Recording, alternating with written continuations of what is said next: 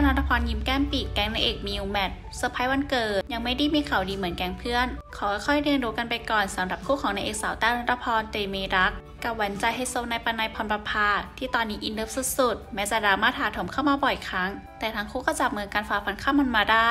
และเมื่อวันที่ 6 กุมภาพันธ์ที่ผ่านมาเป็นวันคล้ายวันเกิดครบวัย 33 ปี ก็ทำเอาสาวแต้วแฮปปี้ชื่นมื่นดีใจ เมื่อหนุ่มประณัยพร้อมด้วยเพื่อนสาวจัดปาร์ตี้ฉลองวันเกิดเล็กๆ ซึ่งก็มีแก๊งเพื่อนนางเอกอย่างมิวและแมทมาร่วมยินดีด้วยก่อนจะเซอร์ไพรส์ด้วยของขวัญน่ารักน่ารักจากแบรนด์หรูระดับโลกโดยสาวแต้วเผยความในใจผ่านทางอินสตาแกรมระบุว่า Thank you guys for being here with me รักพวกหนูนะคะรู้ใช่ไหมเอ่ยและที่สำคัญขอบคุณณัยมากๆนะคะ ที่จัด birthday dinner น่ารักน่ารักแบบนี้ให้แต้วเขินเลย love you